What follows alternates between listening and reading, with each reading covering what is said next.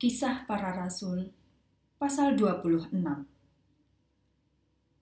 Paulus di depan Raja Agripa Agripa mengatakan kepada Paulus, Engkau boleh berbicara untuk membela dirimu. Kemudian Paulus mengangkat tangannya, lalu mulai menyampaikan pembelaannya sebagai berikut. Raja Agripa, aku merasa beruntung bahwa aku berdiri di hadapanmu hari ini. Dan aku boleh mengemukakan pembelaanku melawan hal-hal yang dituduhkan oleh orang Yahudi kepadaku. Ini khususnya karena engkau mengetahui tentang semua adat dan masalah Yahudi. Karena itu, aku mohon supaya engkau mendengarkan aku dengan sabar. Semua orang Yahudi tahu bagaimana jalan hidupku sejak masa mudaku. Sejak semula aku hidup di negeriku sendiri dan juga di Yerusalem.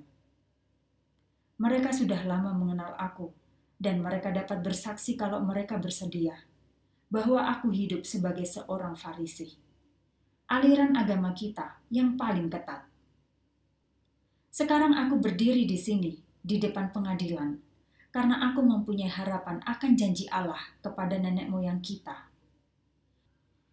Pemenuhan janji inilah yang diharapkan oleh kedua belas suku kita ketika mereka melayani Allah dengan sungguh-sungguh siang dan malam. Karena pengharapan inilah, ya Rajaku, aku dituduh oleh orang Yahudi. Mengapa kamu tidak percaya bahwa Allah dapat membangkitkan orang mati?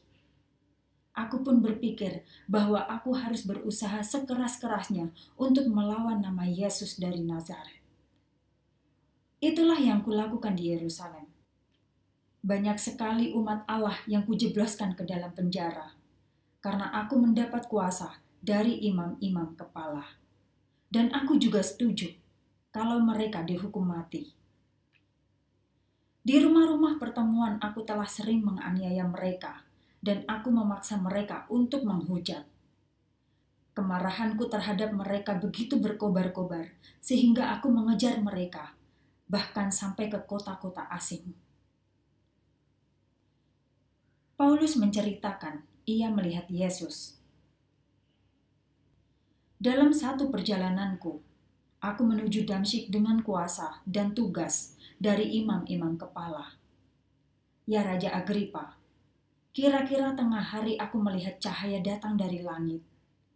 Cahaya itu lebih terang daripada matahari dan bersinar di sekelilingku dan mereka yang berjalan bersama aku. Kami semua terjatuh ke tanah. Dan aku mendengar suara yang berkata kepadaku dalam bahasa Yahudi, Saul, Saul, mengapa engkau menganiaya aku? Tidak ada gunanya engkau menolak aku Aku bertanya, "Siapa engkau, Tuhan?" Tuhan mengatakan, "Akulah Yesus yang engkau aniaya. Berdirilah, aku telah memilih engkau untuk menjadikan engkau hambaku. Engkau akan memberitakan kepada orang banyak bahwa engkau telah melihat sesuatu tentang aku, dan engkau akan melihat hal-hal yang akan kutunjukkan lagi kepadamu. Itulah sebabnya aku datang kepadamu hari ini. Aku akan menyelamatkan engkau dari orang Yahudi dan orang yang bukan Yahudi. Aku akan mengutusmu kepada mereka. Engkau akan menunjukkan kebenaran kepada mereka, agar mereka berbalik dari kegelapan kepada terang, dari kuasa setan kepada Allah. Dengan demikian, dosa mereka dapat diampuni, dan mereka dapat ambil bagian bersama orang yang telah menjadi umat Allah karena percaya kepadaku.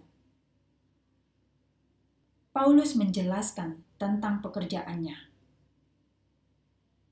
Jadi, ya Raja Agripa, aku mematuhi penglihatan dari surga itu. Aku memberitakan firman Allah pertama-tama kepada orang di Damsyik, kemudian kepada mereka di Yerusalem, di seluruh negeri Yudea, dan juga kepada bangsa-bangsa lain.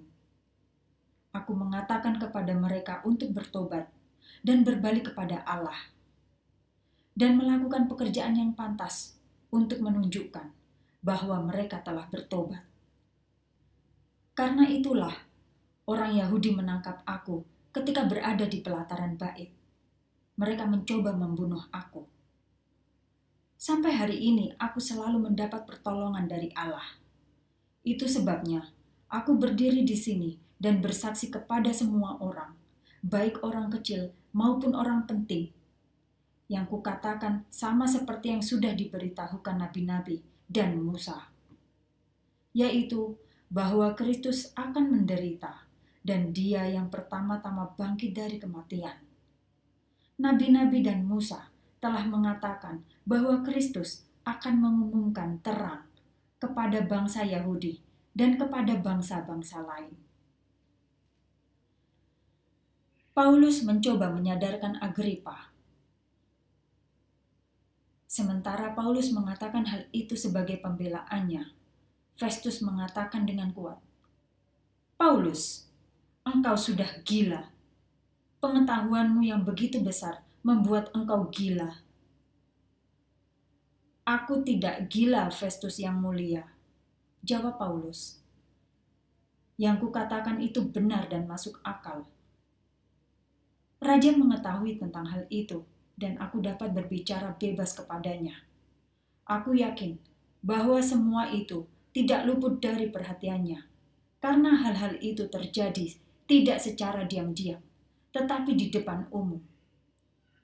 Ya Raja Agripa, apakah engkau percaya yang telah ditulis oleh nabi-nabi? Aku tahu bahwa engkau percaya. Kemudian Agripa menjawab Paulus, Apakah kau anggap bahwa engkau dapat membujuk aku menjadi Kristen dengan begitu mudah? Paulus menjawab, Mudah atau susah, itu tidak penting. Aku berdoa kepada Allah agar bukan hanya engkau, tetapi semua yang mendengar aku hari ini menjadi sama seperti aku, kecuali rantai-rantai ini. Raja berdiri, begitu pula gubernur Bernike dan orang yang duduk bersama mereka. Sesudah mereka meninggalkan ruangan, mereka mengatakan, "Orang itu tidak melakukan sesuatu yang harus menerima hukuman mati atau dipenjarakan." Agripa mengatakan kepada Festus, "Sebenarnya orang itu dapat dibebaskan kalau ia tidak naik banding kepada kaisar."